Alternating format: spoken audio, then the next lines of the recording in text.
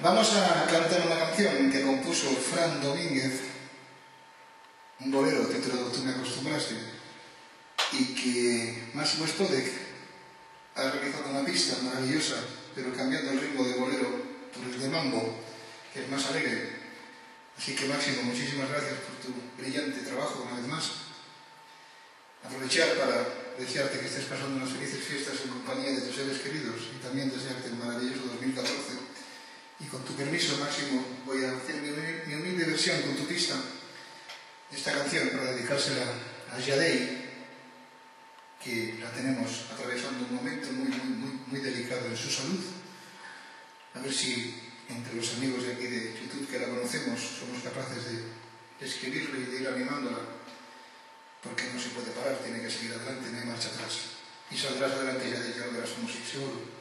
Estate convencido que saldrás adelante. Non Vamos a dedicarti questa canzone. E come sempre ti dico in idioma in italiano, questa canzone per te è pazza, guidati, guidati mucho per favore.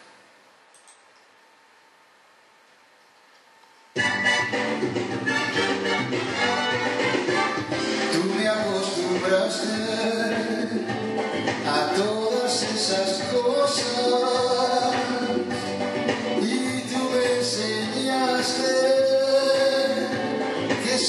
my